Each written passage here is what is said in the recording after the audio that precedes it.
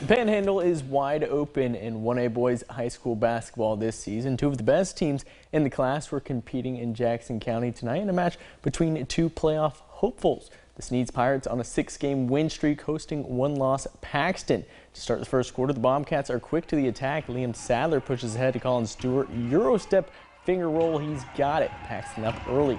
The Pirates respond thanks to one of the best three-point shooters in North Florida, the sophomore Michael Perkins in the corner. He's going to nail it as he had a handful of three balls in the first quarter alone. Fast forward to the second half, Pirates up by eight. Tyler Owens finds Stewart in the corner and he bangs a, a, three ball of his own, cutting into the deficit. Sneads now trailing by one later in the quarter when the junior football sensation Jason Patterson attacks the paint. He can lace it up on the hardwood as well, willing his way to the foul line and the basket count.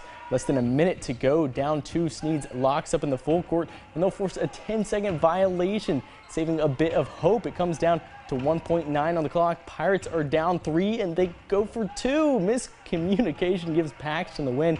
As time expires, 51 to 50 is the final score as the Bobcats escape in an absolute thriller.